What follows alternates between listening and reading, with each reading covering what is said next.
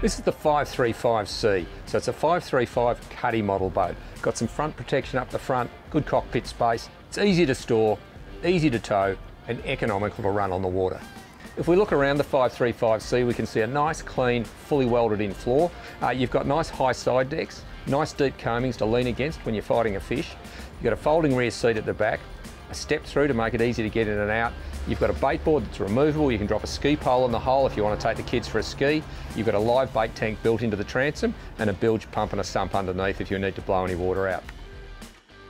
If you look up the front of the boat, nice cuddy cabin with a bimini, high windscreen, gives you some protection if the weather turns. Hydraulic steering, good real estate on the dash for a decent sized sounder, nice big front hatch to get to the front of the anchor well. The targa top on this boat, pull a pin and you can fold it down for low storage under your garage and the windscreen also folds, so great for storing under a low carport. The boat's rated for a 115 horsepower engine and can carry 115 litres of fuel, so it'll give you a good day out on the water. And of course you can personalise your 535C by talking to your dealer about things like an anchor winch. All Bar Crusher boats come with facility for it. You can decide whether you want one or not.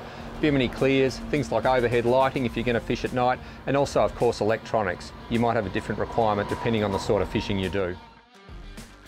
And of course every Bar Crusher boat comes factory packaged on a trailer that's Australian made to a high standard, custom designed to fit your hull. If you want to review all the features and options, go to the online boat builder at the Bar Crusher website and spec up your fishing weapon.